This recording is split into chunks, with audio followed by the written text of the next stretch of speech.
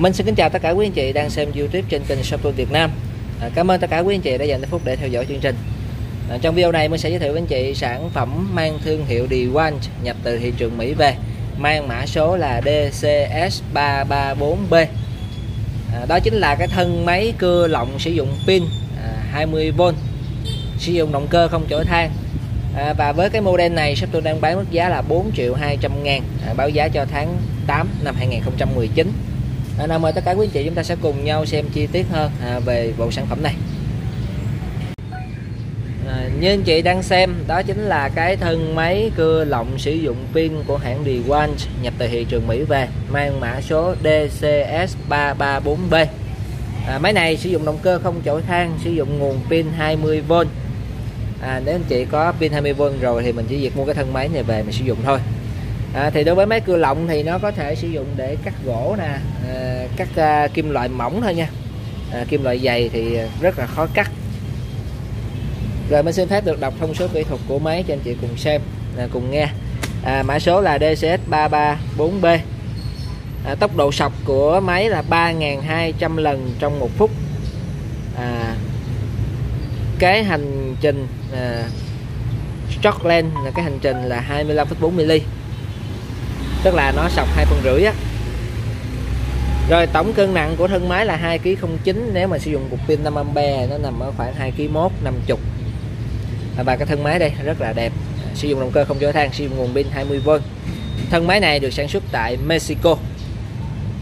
Bây giờ mình chị chúng ta sẽ cùng nhau xem chi tiết về những cái à, đặc tính của cái thân máy cửa lọng này. Rồi mình sẽ cùng xem phần đầu trên. Đó, làm rất là đẹp luôn. À, nguyên cái vàng trên đây làm bằng à, cao su êm và chống trượt. À, mình dễ dàng thao tác. À, trên đây là cái phần à, chỉnh tốc độ. Điều qua. Ở đây thì nó sẽ à, có thêm cho mình một cái khe để gắn cái chặn lưỡi. À. mâm. Mâm làm bằng kim loại rất là đẹp đây để mình lấy cái cái mâm nhựa này để bảo vệ cái à, mặt mâm dưới thôi. À, khi mình cần xài thì mình sẽ gỡ nó ra gỡ hai cái chấu dưới đẩy lên trên. À, đây là cái hướng dẫn của nó. Đây mâm kim loại dưới. Định hình rất là chắc chắn. À, nó có thể à, nghiêng mâm được 45 độ mỗi bên. Này 45 độ mỗi bên. Thì mình sẽ dùng cái cần khóa này ta đẩy qua một bên. Rồi chúng ta nghiêng. À, đẩy phía trước.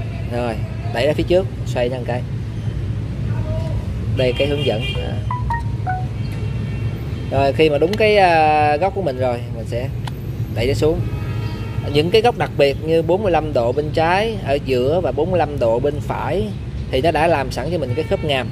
Còn nếu mình muốn xài cái góc nó đặc trưng đặc biệt thì chúng ta chỉnh cái góc mình ưng ý mình khóa lại bằng cái cần thôi.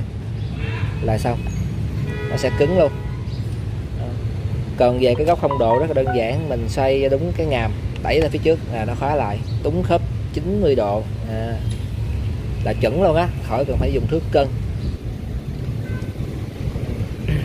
Rồi đối với cái máy này nó còn có chức năng đá lưỡi. Này chức năng đá lưỡi. Khi mà mình cắt à, uh, uống lượng uh, hoặc là mình cần uh, cắt vật mỏng á thì mình sẽ dùng cái chức năng này là nó sọc thẳng xuống thôi à, khi mình cắt à, bậc dày à, nhất là gỗ dày thì mình sẽ chỉnh lên những cái mức đá lưỡi phù hợp. Ở đây nó cho mình tới 3 mức đá lưỡi. 1 2 3 thì cái với những cái mức đá lưỡi này thì mình cắt vực dày nhưng mà ưu điểm là vậy. Nhược điểm của nó nó sẽ làm thô cái bề mặt ở chỗ cắt. Thì lúc đó mình phải à, chà nhám lại cho nó phẳng. Rồi đây là cái à, chốt an toàn để như vậy thì nó sẽ khóa lại. À. vậy thì nó sẽ à, thực hiện được cái bóc việc bóc cò.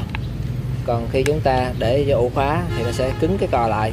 Đây là việc tránh à, hạn chế tai nạn khi mà có trẻ nhỏ.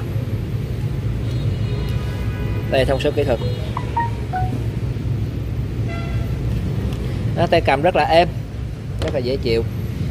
Rồi tiếp theo sẽ là cái phần điều tốc thì mình sẽ lấy cục pin vô để mình review cho anh chị cùng xem.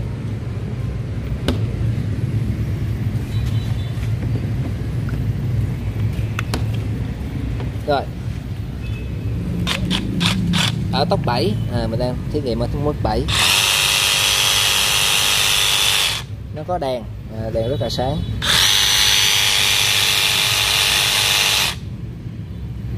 Quá đã.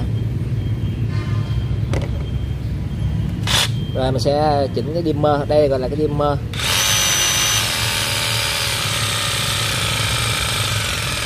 Đó, và nó sẽ chậm lại.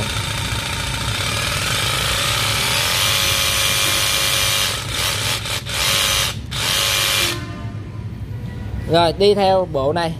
À, đi theo thân máy. Thì hãng cho mình một cái lưỡi à, cắt gỗ. Một cái lưỡi cắt gỗ một cái che lưỡi. Rồi mình sẽ hướng dẫn chị cách lắp lưỡi.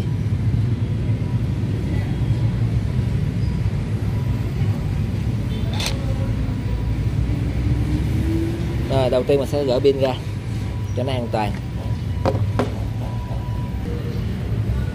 Rồi cách thay lưỡi rất là đơn giản thôi. À, mình cho cái này nó nằm xuống à, chổng ngược mông lên trời. Kéo cái cần này kéo ra. À, kéo ra rất là dễ dàng rồi, chúng ta sẽ nhét cái lưỡi. Cái mặt cắt của nó sẽ nằm ở phía trước. Chúng ta nhét vô. Rồi, nhả ra. Rồi, xong. Cực kỳ đơn giản luôn. Và khi lấy lưỡi ra, anh chị cũng vậy. Cầm sơ cái lưỡi người ta kéo. Tại nó có cơ chế là, cơ chế là sao bung á. Nhiều khi nó bung mạnh quá, nó búng lên mặt. Rất là khó chịu. Nguy hiểm nè. Rồi ha. Kéo ra. Nhét vô. Ok, quá đơn giản.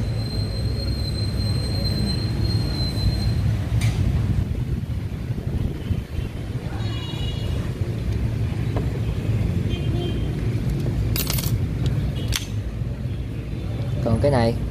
Này, này,